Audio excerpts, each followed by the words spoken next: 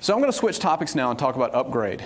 Um, so kind of going back to sort of my overall theme of us evolving over time from TFS into, an, uh, into a cloud service.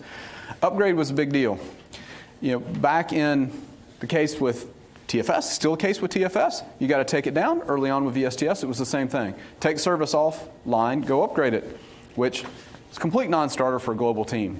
Uh, somebody somewhere is critically in, in, in, has a critical dependency on VSTS. They're trying to ship something, they're trying to patch their service. It doesn't matter. They've got stuff going on.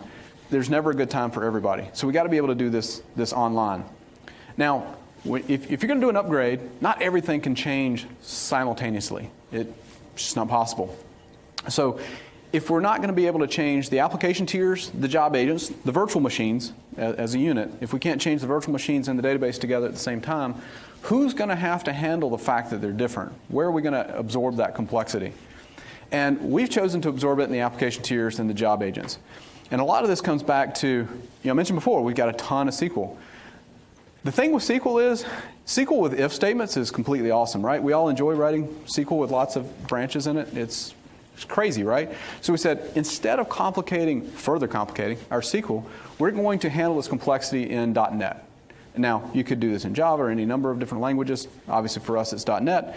So we created a set of factory classes that understand the SQL versioning. So every sprint, you create a new interface with that version, and you kind of march along in time. And that way, there's always a set of binders that match whatever version of the database is.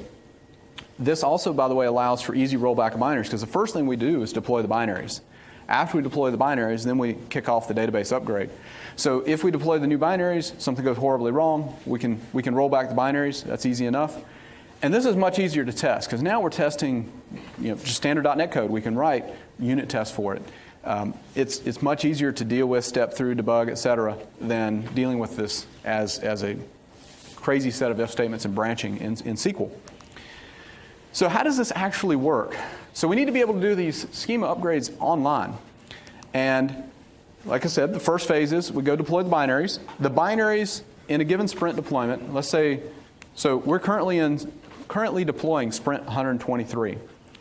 The binaries understand sprint 123 database schema and they understand sprint 122 schema. So n and n minus 1 and the binaries will query SQL and find out what scheme am I talking to? Oh, it's that one. I'll load that binder. Again, going back to the factory class of, of loading what matches the database.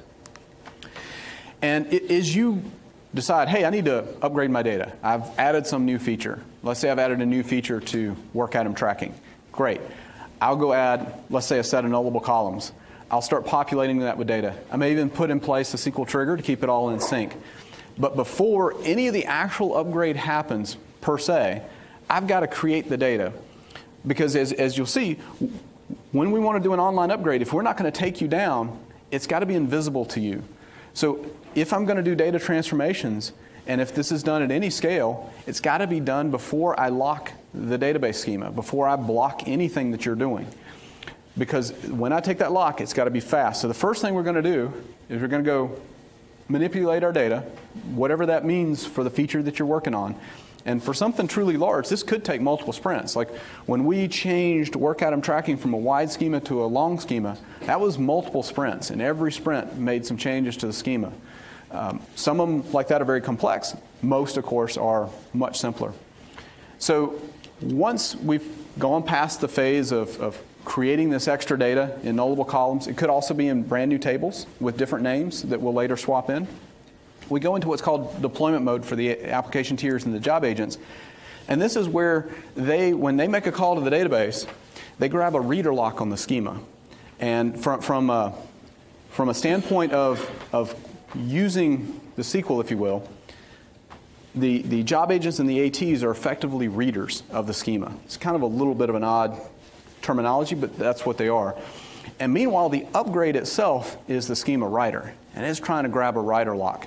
And so there's this, this dance that goes on in the code where every time a call comes from the AT or a job agent into the, into the SQL database, it grabs the reader lock on the, on the schema. Meanwhile, the, the upgrade's sitting there trying to find a moment in time to grab that writer lock. Try to grab it, nope, can't do it. Try it, can't do it. Oh, wait, there are no readers. Grab the, grab the writer lock. Make the final set of changes, which is I'm going to update the metadata. I'm going to swap in the new procedures. I'm going to swap in the new types. I may even swap the names of, you know, let's say this new set, new table that I built on the side that's actually going to take the place of the original. I do that swap. Very, very fast, small number, relatively speaking, of operations. And then I'm going to release the lock. And what you as a user should see is you should never notice. If you happen to be using the, your account at the moment this happens, let's say you're, you're going to go save a work item. It may take five or 10 seconds to save that work item that particular time, and you go, huh, that was kind of slow. And, but everything else goes back to normal. Like the most you should see is that something slows down for a few seconds and then it all goes back to normal. You don't lose any data. You're in the midst of updating a work item. That all happens for you. None of that data gets lost. It's completely invisible to you. And by the way, as part of this, you know, I, don't, I don't really dive into it, but we also have to have the web UI handle online upgrade as well. So when we upgrade the JavaScript files and the, the style sheets and the icons and kind of all this stuff, if, if I go make a, let's say I do a major facelift to some particular area of the product, if I have changed that UI and then you hit save and suddenly the, the call goes to the new stuff and the new stuff wasn't, was expecting something different than your data in the format that, that the browser sent it, it's, it's all going to fail. So even the web UI is versioned. So we've got versions of the, of, of, the TypeScript, the icons, the style sheets, everything. It all loads from a version folder. And that way, until, until there's a full page refresh that happens, you're still using, quote, the old UI. You do something along the lines, along the way that triggers a full page refresh, you switch hubs or something, you get the new web UI. But again, everything's set up so that you don't notice the upgrade happens. You just get new functionality. Yes. Uh, how are you deploying the, the SQL? Are you using scripts, using DACPAC files? Good question. So uh, Ed Glass is going to talk more about how we do the actual deployment, but a lot of it is driven through scripts. So all of our SQL is checked into version control. We've got lots of .SQL files. And the, the way servicing is done and everything, there's a set of things that get auto-generated to make some of the servicing steps happen and so forth. It's all done through, through the SQL's in, in text files, so it's essentially a script. And then we have something we call LightRail that's a set of PowerShell scripts that actually drive uh, the upgrade. We built all this stuff a long time ago. Over time, I expect to move to something newer, but right now it's working well for us and kind of not a need to go crack it open. But Ed Glass will talk more about uh, how that actually gets deployed. Question? So are all your deployments manual? Or? No. Ah, so good question. Are the deployments manual? Thankfully, the answer is no. we would go insane if we had to do 192 scale units manually. Uh, so they're, they're highly automated. What actually happens, and, and I think he'll show you some screenshots, we actually use release management. So VSTS deploys VSTS. And that does mean we do have a way to deploy VSTS if VSTS is down, right? So, but VSTS release management orchestrates the overall deployment there's a set of scripts that run the actual steps and everything. So it's somebody goes to the UI and says, hey, I'm ready to deploy Sprint 123. And they kick that off, and it progresses through the rings. And he'll show you too. It automatically goes from ring to ring. It's not a manual thing that somebody says, "Oh, I've done ring zero. Let me go queue a deployment for ring one. Now let me queue a deployment for ring two. It doesn't work that way. It it will pause and you know, there are cases where we say, hey, we want it to pause, we'll wait a day to do the next step. Somebody has to go say, yes, it's okay, because if something goes wrong, we want to be able to react to it and not have it propagate out to the rest of the accounts, of course. But he'll go through it in detail, but it, it's all fully automated. Sure. And that, always, that wasn't always the case, by the way. Question? Um, for all the different assets that you version, whether it's stored procedures or files, JavaScript, whatever, um, how do you is there some, do you have a complete copy for every version of the product uh, internally, or do you, are you doing some other kind of scheme, like some form of copy on write or something like that? So it's a good question. So the version, it, it's actually got a full copy of every version. So for example, in Azure Storage, there's a full copy of every version of the, the, the JavaScript files, CSS, et cetera. The deployment itself carries you know, full copy of the SQL. So now, as part of the servicing, it generates deltas, so it knows what to change. So when we do the upgrade, it's not you know, changing one sproc into another when they're actually identical. We, we detect all that at build time and actually generate the delta so we know what things need to be actually need to be upgra- upgraded. But we've got full versions of all this stuff uh, so that they're fully independent. Question? Would you call this a blue-green deployment? Would I call it a blue-green deployment? Uh, Actually, no, because the way we do deployments today is since we're using PaaS, we actually use something that's called a VIP swap with the Azure Load Balancer. So we actually spin up, and I think Ed will cover this too, we actually spin up a new set of virtual machines in a staging slot, and then we do a VIP swap, and we swap all of them out all at once. And the what's currently in production goes into the staging slot, the staging slot becomes production. And it's, it's, uh, it's not atomic, but it's close enough to being atomic. So that would be kind of a blue-green deployment, right? That you have a separate set of servers which are live and then a separate servers, set of servers that would go live later.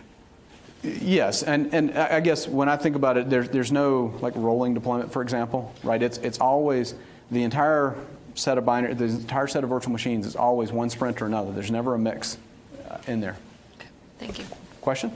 So it seems like you guys uh, maintain at least two versions each time you deploy, right? Yes. Um, so when do you do that cleanup? Because at some point you have to, so like the next deploy, you're going to have to probably clean up the previous version, right? And keep like, you know, the two, so basically the, the current version and the next. So uh, do you guys actually do th- this cleanup or this is something that you guys use in like in, in the background that's making this easier? Or is this like all like manual? Oh, so, so interesting set of questions there. So on the, on the binary or the, the virtual machines, once, once we do the swap and they go into the staging slot, it's not long, half an hour later or something, they disappear. We delete those. In the database, you know, of course, there's only one copy of the data. There's never two copies of the data. That'd be incredibly expensive. The, the schema and all, as the servicing runs and replaces the, the, the Sprocs, there's only ever one copy of Sprocs sort of active at one time.